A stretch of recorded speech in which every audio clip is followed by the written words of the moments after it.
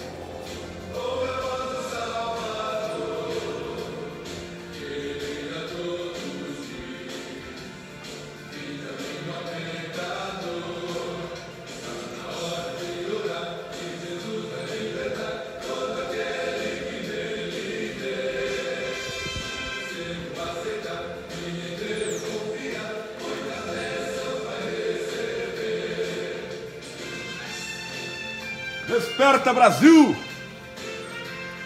Jesus te ama. Porque Deus amou o mundo de tal maneira, deu seu Filho unigênito para todo aquele que nele crer não pereça, mas tenha vida eterna. João 3,16.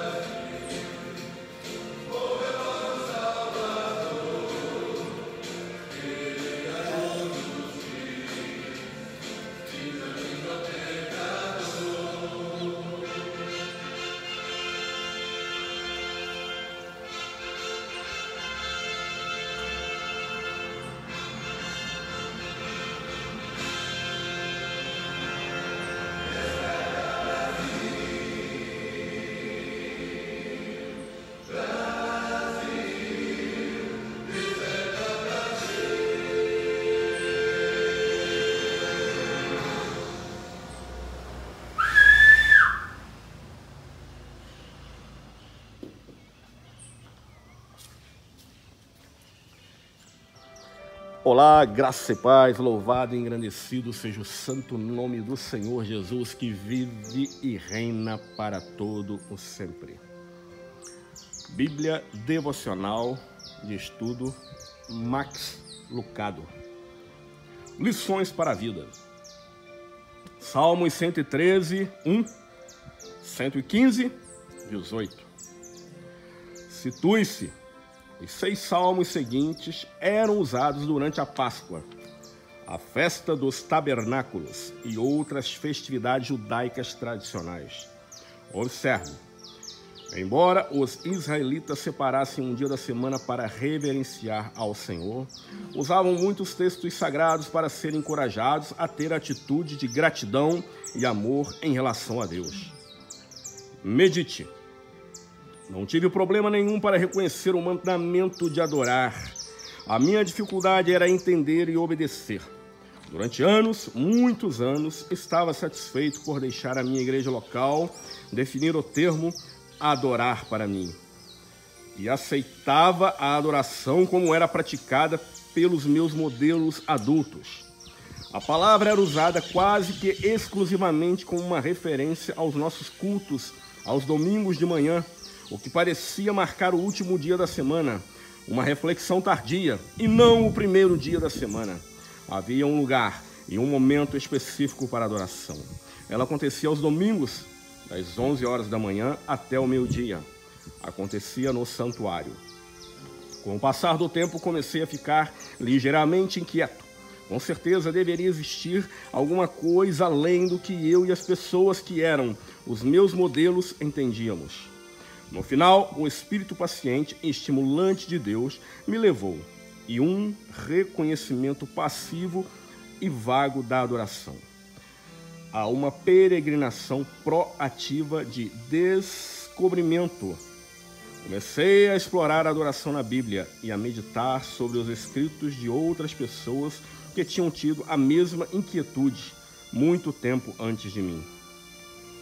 Entendi que a verdadeira adoração é muito mais que uma experiência dominical. Primeiro, como um reconhecimento intelectual e depois, ao aprofundar-me 45 centímetros dentro do meu coração, como uma experiência profunda e permanente.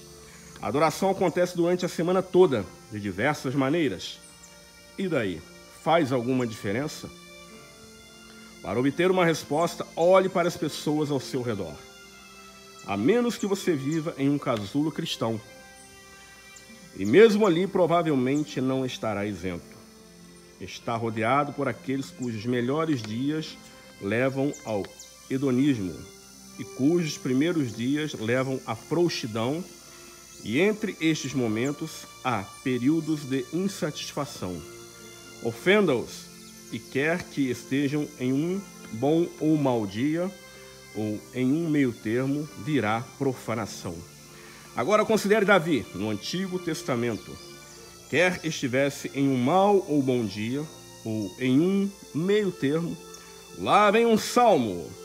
Desde a infância até a idade adulta, sempre foi a mesma pessoa.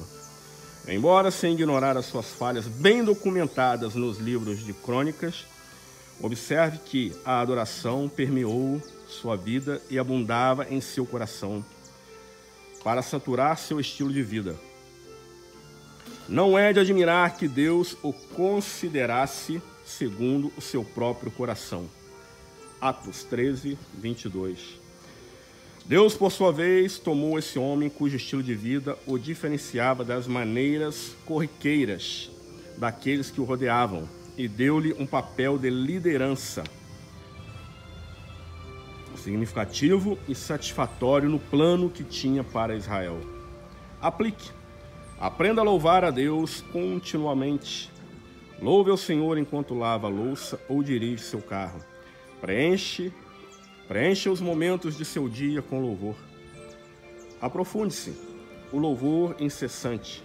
Salmos 71, 14 Romanos, Romanos 12, 1, Colossenses 3, 17, 1 Tessalonicenses 5, do 16 ao 18, Hebreus 13, 15 e Apocalipse 4, versículo 8. Esse é um estudo devocional que eu fiz no ano de 2007, no mês de dezembro, no dia 7, 12 de 7 de 2007, e agora estou passando para vocês, para essa profunda reflexão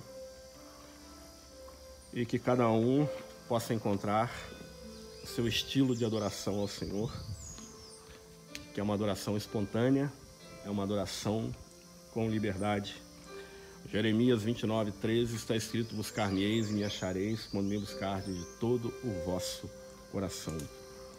Esse aqui é o papelzinho que eu estava lendo para vocês, que eu encontrei dentro da minha Bíblia de estudo e acabei de compartilhar com vocês. E aqui está ó, a data. É isso aí, gente. Fica na paz. Jesus abençoe a vida de cada um de vocês. E aqui é o lugar que Deus me deu para poder adorá-lo com tudo aquilo que Ele coloca no meu coração. E assim vou seguindo também na minha busca para fazer o melhor para Deus. Fiquem na paz, Jesus te ama e nós também.